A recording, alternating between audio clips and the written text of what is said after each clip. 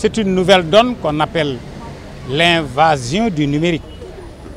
Euh, D'ailleurs, le Sénégal est en retard par rapport à d'autres pays. Mais nous, nous allons essayer de combler le gap.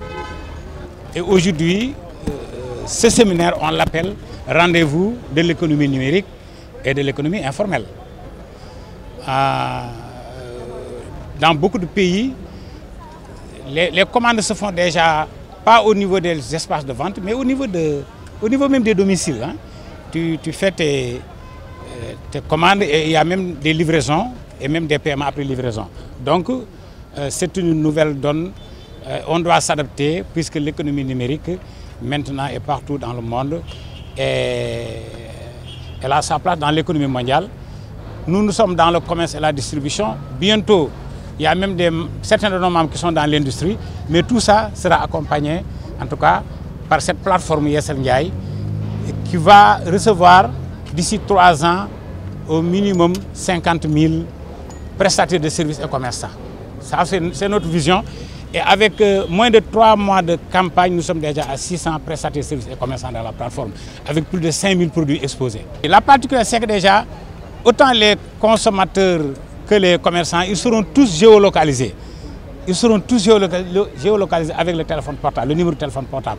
Ça, donc, c'est une plateforme où euh, et le consommateur et le professionnel, c'est-à-dire le commerçant, il y a mise en relation directe, il n'y a pas d'intermédiaire. Et chaque produit qu'on vend, c'est le produit vendu par le commerçant et acheté par le consommateur.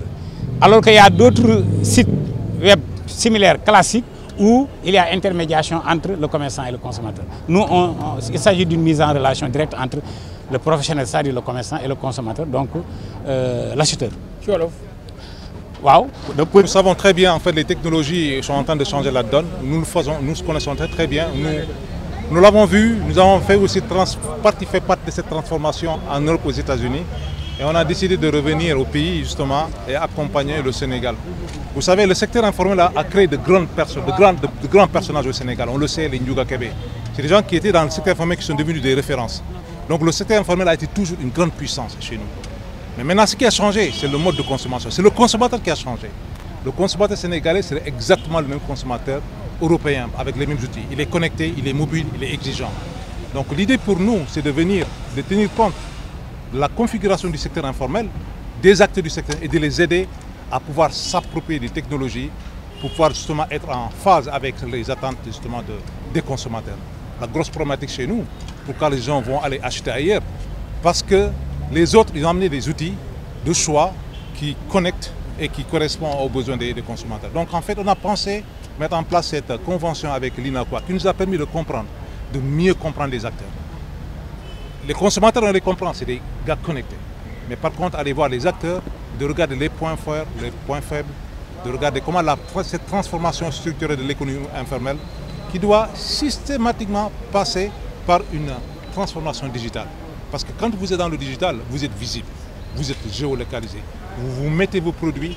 Et le déclic qui m'a beaucoup intéressé, qui m'a frappé, c'est que l'informel fait attention aux détails.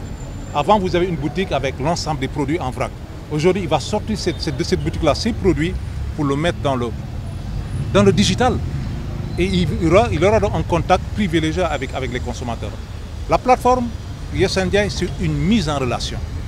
En fait, on n'est pas comme des plateformes standards où il y a une intermédiation.